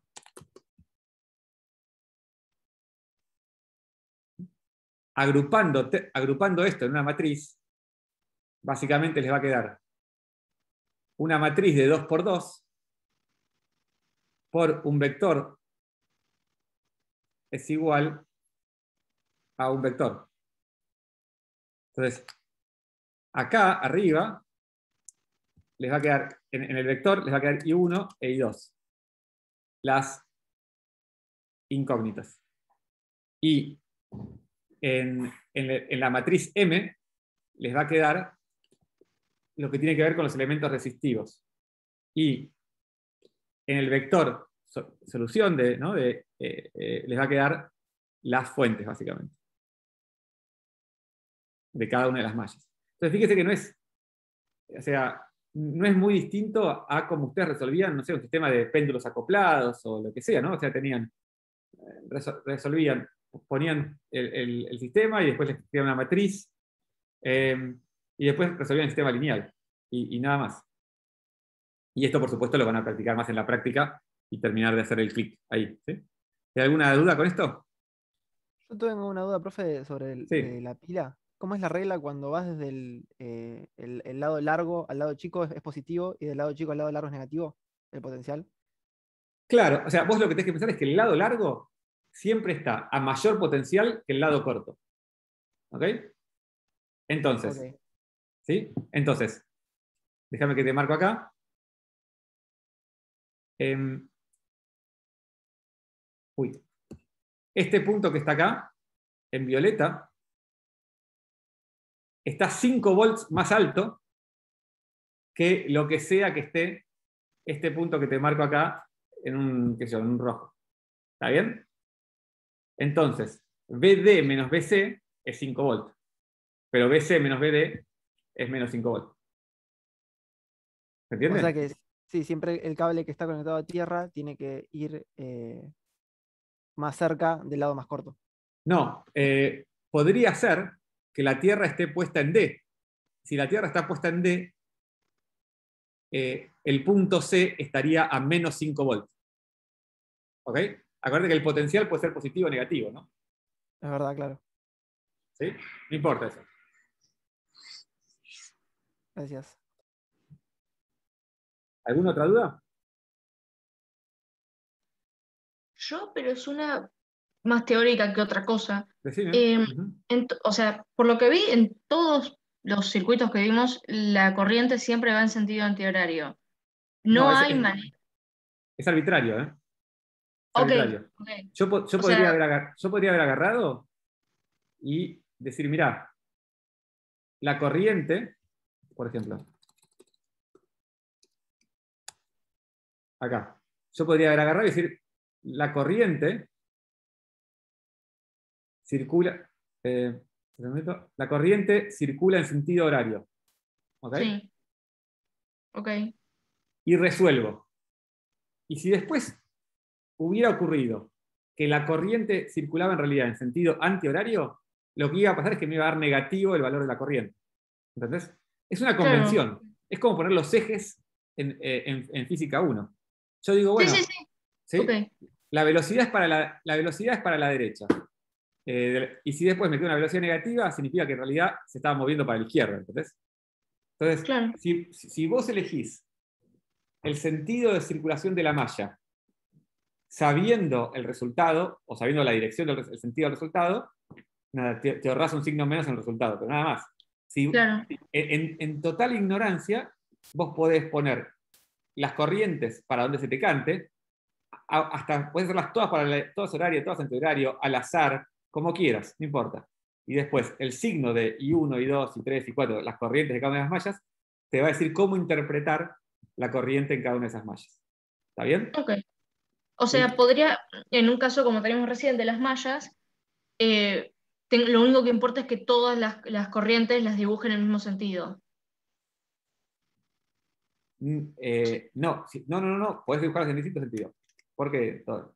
O sea, lo que O sea, que podría hacer- dibujar la corriente la que, la que teníamos recién, una, una antihoraria y la otra horaria. Eso no es un Y- problema. sí. Lo que es importante es que dentro de, la, dentro de cada malla vos recorras siempre igual. O sea, si voy de C a D, después voy de D a E, y después voy de E a B, y después voy de B a C. O sea, no voy Ujú. de C a D y después me fijo la diferencia de potencial E menos D. ¿Se entiende? Claro. Claro, Pero vos-. Lo que tenés que ser es consistente dentro de cada malla, porque como dijimos acá, ¿sí? no hay que mezclar. La malla, cada malla la tengo que re- eh, recorrer en un sentido. Pero las distintas mallas las puedo recorrer cada una en el sentido que más me guste.